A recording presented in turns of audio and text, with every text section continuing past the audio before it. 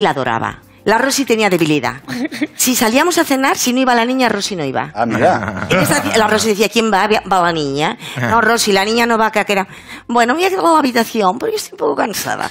Si venía la niña y el David, el David, que es maravilloso, el David era, ella venía. La Rosy. Porque Rosa María Sata era, eh, tenía su genio. ¿no? Oh, tenía, tenía. Cuando está, torcida no, ¿eh? Contigo no se torcía, se torcía mucho conmigo. Conmigo tiene confianza.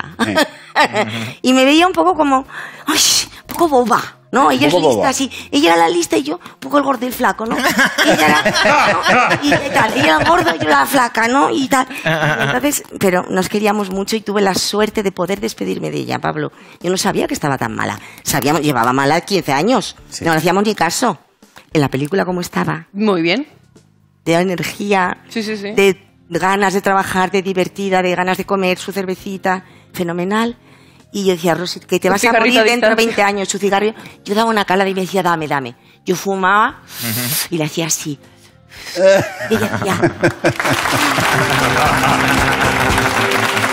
Se quedaba con el, con el aroma. porro no, solo cigarro. Porro no te doy. Porro no. ¿Porro no le dabas? No, ¿El porro solo para ti o...? solo para mí, siquiera, pero ella no, para. Pobrecita, además ella ha sido muy fumadora y tenía, pero no murió de eso, como sabes, tenía su enfermedad. pues- Pero bueno, y pude despedirme de ella, decirle, Rosy, te quiero. No sabía que se moría, ni ella tampoco. Y, a los mm, 20 días, y me dijo, yo también te quiero, amiga. Y a los 20 días se fue. Pero esa alegría me quedó poder bueno, dicho. es muy importante, Porque en la vida no dices esas cosas, ¿verdad? es muy Tanto importante poder haberlo dicho. Es muy importante poder haberlo dicho. Yo tuve la suerte, eh, con mi padre y con mi madre, a los dos tuve la suerte de poder decírselo y no sería nada igual si no se lo hubiese podido decir. Tú no estarías como estás. Claro. Con esa paz.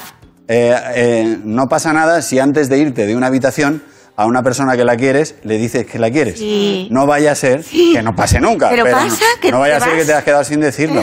Bueno, contadme de qué va la peli. He visto que va de, de- Uf, va de muchas cosas, pero bueno, Ella es la principalmente... prota, y ya me cayó, ella es no, la prota. ella es la